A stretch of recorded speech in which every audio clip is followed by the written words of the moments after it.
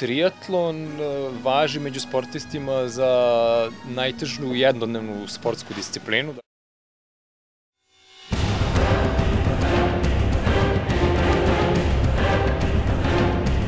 Često kad krećem na trku zapitam sebe zašto nisam lepo nastavio da treniram plivanje.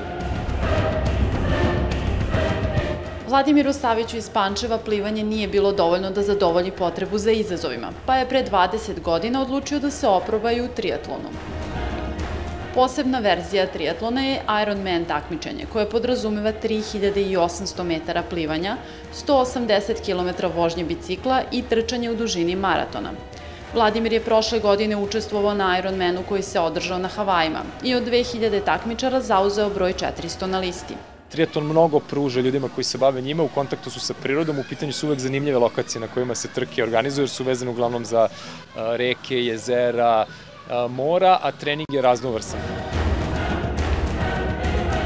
Moj trenutni rekord je 8 sati 57 minuta. 3800 metara plivanja, 180 km vožnje bicikla i pun maraton.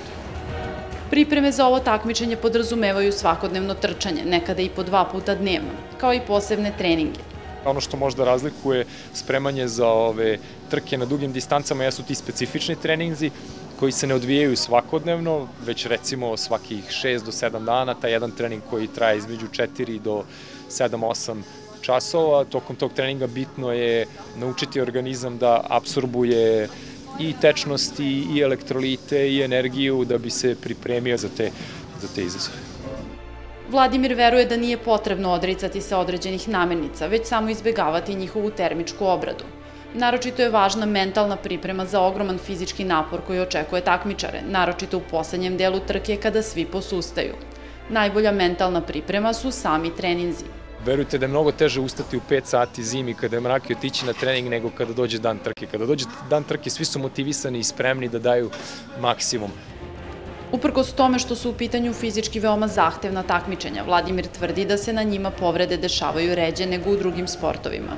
Povrede koje se dešavaju su pre svega vezane za biciklistički segment, dakle moguće je da dođe do padova, prosto kada vozite bicikl očekujete da će se i tako nešto desiti.